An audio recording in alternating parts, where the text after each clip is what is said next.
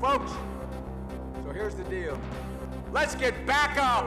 I will do everything I can to make you proud. I can't see a path where I can win the presidency.